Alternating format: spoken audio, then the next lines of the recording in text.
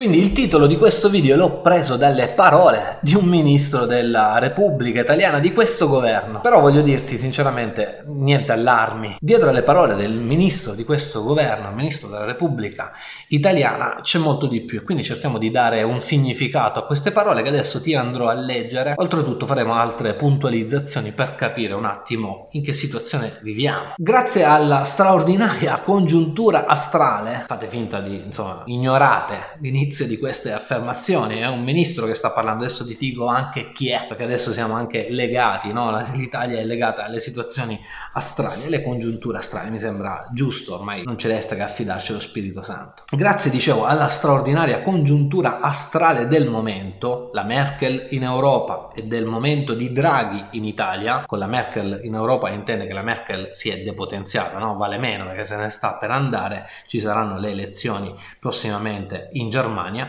e dal momento che sta vivendo Draghi in Italia, con questo governo di unità nazionale praticamente nulla è impossibile. È possibile fare tutto o quasi, quindi parte carico, il ministro intendo. La sostanziale tranquillità rispetto al governo del paese, degli osservatori, delle forze politiche è sotto gli occhi di tutti. Nessun sano di mente può pensare di metterlo in crisi, perché avremmo la bancarotta il giorno dopo. Ripeto, perché avremmo la bancarotta il giorno dopo. Quindi state attenti, no? stiamo attenti, no? facciamo questa riflessione insieme, non tanto sulla bancarotta il giorno dopo, nel caso in cui dovesse cadere questo governo, ma ai messaggi che ci vengono lanciati da più parti. Ora è evidente che questi messaggi puntano allo scontro politico che sta per infiammarsi, perché a breve ci saranno le elezioni politiche, no? scusate, le elezioni comunali in varie città d'Italia, da Bologna, Milano, Roma, eccetera, eccetera, e quindi le forze politiche siccome stiamo per entrare nel semestre bianco, è molto probabile quindi che le forze politiche se le diano di santa ragione al punto no, di minacciare la caduta del governo. Quindi questi messaggi arrivano proprio per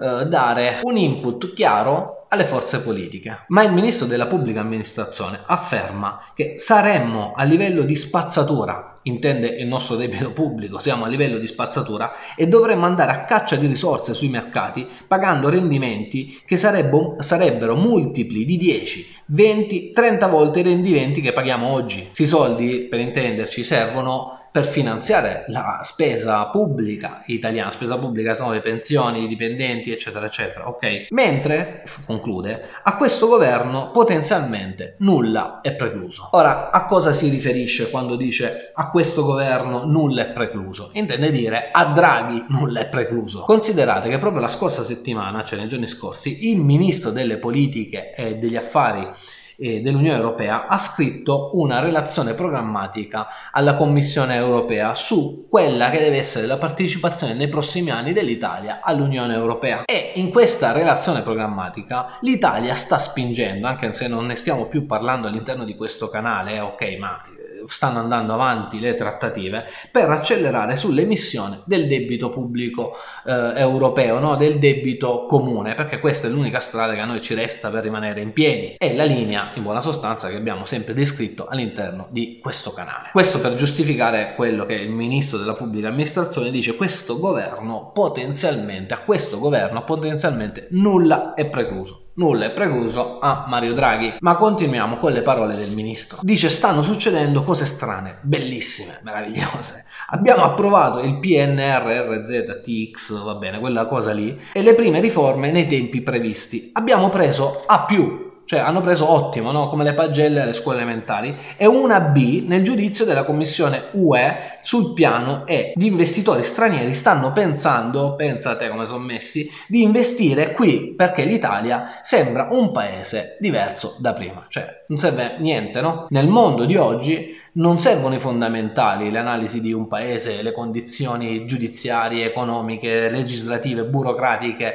No, basta che arriva Mario Draghi e l'Italia sembra un paese diverso da prima. E poi ancora continua. Oggi siamo di fronte a un boom economico. Allora, a parlare è il ministro della pubblica amministrazione Brunetta, che prima, nella prima parte, ha affermato spazzatura del nostro debito pubblico, andiamo in bancarotta, e poi afferma che c'è un boom economico. Il boom economico ci sarebbe Perché è arrivato Mario Draghi? Perché, ripeto, i soldi dell'Unione Europea ancora non sono stati stanziati, cioè non è stata messa in moto la macchina degli investimenti, no? dei grandi investimenti, investimenti in opere specifiche, fanno girare tanti soldini ragazzi, o sulla infrastruttura digitale, insomma siamo in una fase ancora di programmazione, ok? È evidente che è probabile che se questi soldi verranno spesi bene, dubbi sono tanti in Italia, ci sia un boom economico, ma aspettate almeno che questi soldi vengano finanziati, no? Cioè perché solo stiamo parlando di 200 miliardi. Ora loro parlano del boom economico perché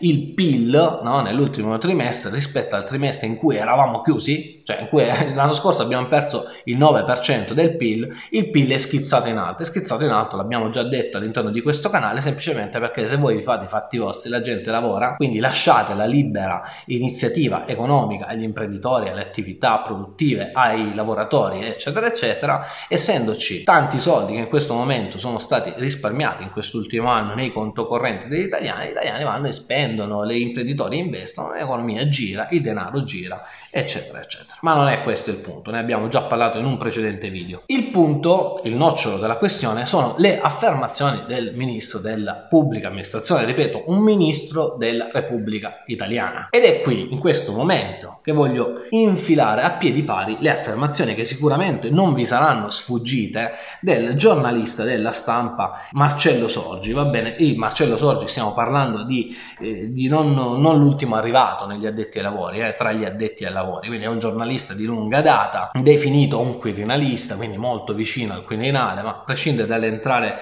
nello specifico di queste questioni, diciamo che è un buon soldatino, è un buon soldatino per dire a nuora perché suocera intenda. Cosa ha detto? Chi è la suocera chi è la nuora? Eh, vabbè, la, la, la, suocera sono i politici italiani, sono quelli che devono intendere, no? coloro che magari stanno pensando di fare uno sgarro a Draghi. È in questa situazione no? che si infilano le dichiarazioni del Ministro della Repubblica. Voi immaginate a livello economico e finanziario quelle che potrebbero essere ricadute, ok? Ma di questo adesso ne parliamo. Allora, cosa dice il Marcello Sorgi qualora vi fossero sfuggite queste affermazioni? So che molti di voi sono attenti, ma le andiamo un attimo a riassumere all'interno di questo contesto, no? di questo video.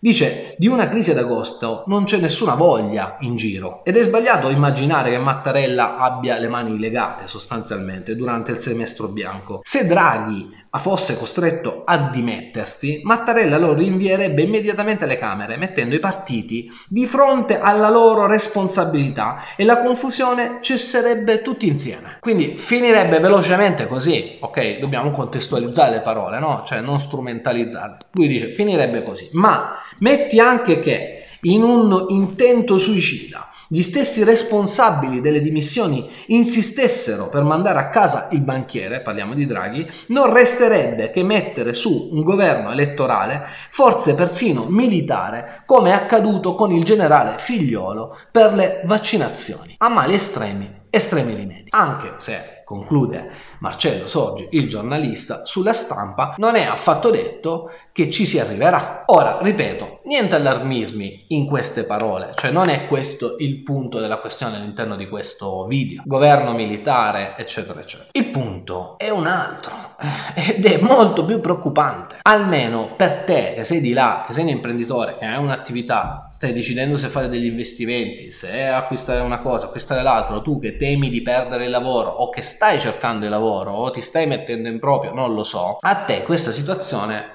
a noi questa situazione dovrebbe un po' preoccupare. Che cosa dovrebbe preoccuparci? Come vi ho detto, cioè a prescindere da come ognuno di noi la pensa su Mario Draghi, perché la mia opinione e la tua opinione sono opinioni soggettive. Capite? Ma la cosa oggettiva in tutta questa questione è che se evidentemente qualcuno dovesse decidere di far cadere il governo, sapete no? le diatribe Movimento 5 Stelle che non vuole alcune cose, la Lega che non ne vuole delle altre, che ha minacciato di qua di là, adesso si è messa pure in mezzo la questione dell'MPS per il PD che è l'unica cosa che gli interessa alle banche. Ma a parte le battute, le conseguenze di un crollo di questo governo sono conseguenze che sarebbero rovinose per il nostro paese. Poi alcuni diranno eh, non è vero, l'Italia ripartirebbe, usciremmo dall'euro, dall'Europa. Insomma, ragazzi, non cazzo va bene? Cioè l'Italia è evidente a tutti, almeno a chi non ha il paraocchi, che qualora dovesse accadere una situazione del genere sarebbe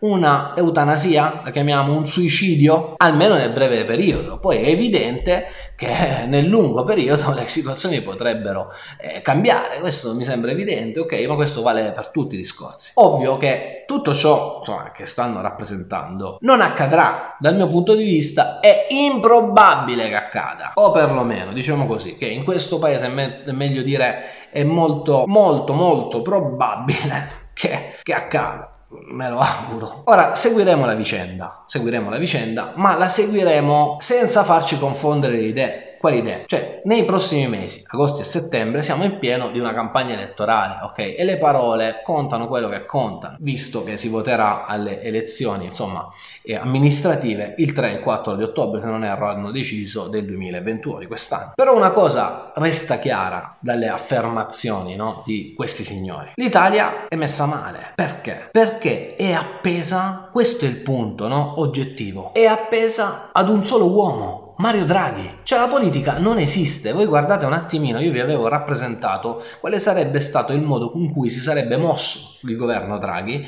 e i rapporti di forza con le forze politiche. Governerà Draghi, vi ho detto, su alcune cose. I partiti politici potranno dire di qua la riforma penale mi cambi sta roba qua e il Green Pass mi cambi sta... dopodiché decide lui, non so se è chiaro. È ovvio che ci sarà un accontentino di qua, un accontentino di là, lo ritroveremo nella riforma degli ammortizzatori sociali che dovrebbe riprendere riprendere essere discussa nel mese di settembre, la ritroveremo nel, per quanto riguarda la sinistra li accontenteranno un po', per quanto riguarda la destra ci sarà la riforma fiscale, magari ci sarà una flat tax fino a 100.000 euro, li accontenteranno anche di là un po' di accontentini qua là, no? la rateizzazione delle cartelle, tutte queste robe qui. Cioè, ma se il Green Pass sa da fare, Draghi si dice che quella è la direzione, il Green Pass si fa. Se la riforma penale, no? non la riforma civile, hanno fatto la riforma penale, ma non voglio entrare in questi argomenti. Comunque, la riforma penale deve essere fatta. Io ti sistemo di qua, ti sistemo di là, tu fai un po' di propaganda televisiva, va benissimo così, e la riforma penale viene fatta. Ovviamente non c'è nessuna discussione tra i partiti politici su quella che è la politica economica monetaria, chiamiamola così, la linea dell'Italia rispetto alle politiche economiche e monetarie dell'Unione Europea. Lì, cioè i partiti politici zitti, silenzio, parla Draghi, punto. Quindi l'Italia